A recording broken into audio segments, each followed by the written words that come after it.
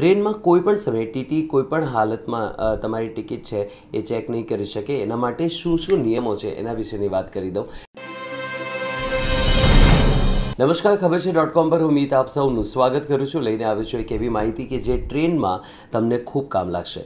ટ્રેનમાં કોઈ પણ સમયે ટીટી, કોઈ પણ હાલતમાં તમારી ટિકિટ છે એ ચેક નહીં કરી શકે. એના માટે શું શું નિયમો છે એના વિશેની વાત કરી દઉં. ટ્રેનમાં તમે જ્યારે સફર કરતા હો ત્યારે વગર મરજીએ કોઈ તમને ડિસ્ટર્બ નહીં કરી શકે.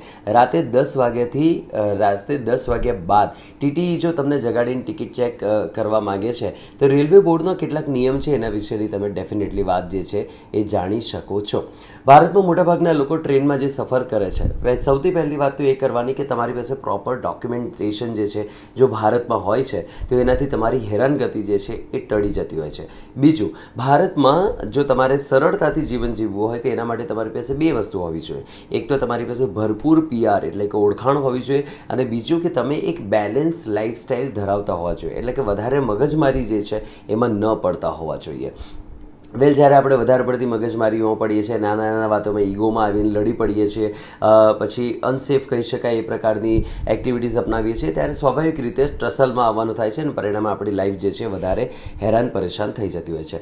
ટ્રેનમાં જ્યારે તમે સફર કરતા હો, ત્યારે તમારી પાસે તમારું ઓરિજિનલ આઈડી પ્રૂફ હોવું જોઈએ અને ટિકિટ યાત્રા દરમિયાન જે છે ટ્રે ટ્રાવેલ ટિકિટ એક્ઝામિનર ટીટી જે છે એ ટિકિટ જે છે તમારી ચેક કરવા આવે છે. ઘણીવાર એ રાતમાં પણ જગાડીને ટિકિટ છે કે આઈડી કાર્ડ દેખાડવા કહે છે, પણ તમને કહી દઉં કે રાતે દસ વાગ્યા પછી ટીટી તમને ડિસ્ટર્બ નહીં કરી શકે. અલબત્ત, તમે રાતે ટ્રેન પકડી હોય તો ટીટી ડેફિનેટલી તમારી ટિકિટ જે છે એ ચેક કરશે. પણ એ વારંવાર તમને ઉઠાડીને ચેક નહીં કરી શકે કે બોસ ઉઠો અને તમારી ટિકિટ જે છે એ ચેક કરાવો. કારણ કે ટિકિટ વેરિફિકેશન તમે જ્યારે ટ્રેનમાં ચડો છો ત્યારે જ થઈ જાય. એ એ નિયમ અનુસાર છે. પણ પછી વારે વારે તમને ટિકિટ ચેક કરવા માટે ઉઠાડવું એ નિયમ અનુસાર નથી. વેલ, રેલવે બોર્ડનો આ નિયમ છે, રાત્રે દસ વાગ્યા પછી રાત્રિ એ યાત્રા કરનારા યાત્રીઓ પર લાગુ નથી થતો. મેં આગળ કહ્યું તેમ. એ એ માત્ર યાત્રીઓ પર લાગુ પડે છે કે જે લોકોની ઓલરેડી ટિકિટ ચેક થઈ ચૂકી છે અને ટીસી પાછો આવે છે અને જગાડે છે કે ભાઈ ટિકિટ બતાવો. જો કે જનરલી એવું થતું નથી. એ લોકો પણ જાણતા હોય છે કે આ બસ પર કોઈ ઓલરેડી આવી શક્યું છે.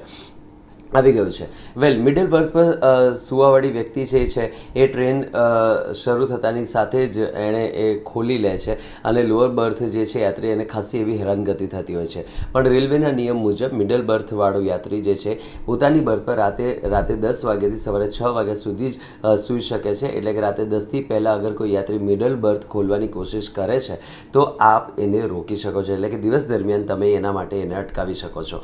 વેલ ઘણી વખત એવું થતું હોય છે કે ઘણા ઘણા એવા લોકો હોય કે જે લોકોને દિવસમાં સૂવું જ પડે એમ હોય, તો આપણે એ લોકોને થોડી વ્યવસ્થા એ રીતે કરી શકીએ કે એ લોકોને આપણે લાસ્ટ બર્થ જે સ્લીપિંગની હોય છે ત્યાં આગળ સુવાની વ્યવસ્થા કરી આપીએ. તો વચલો રસ્તો આમ તો આપણે ટ્રેનમાં કાઢી જ લેતા હોઈએ છીએ. ફરીથી મળીશું આજ રીતે ખબર છે ડોટ કોમ પર. Thank you so much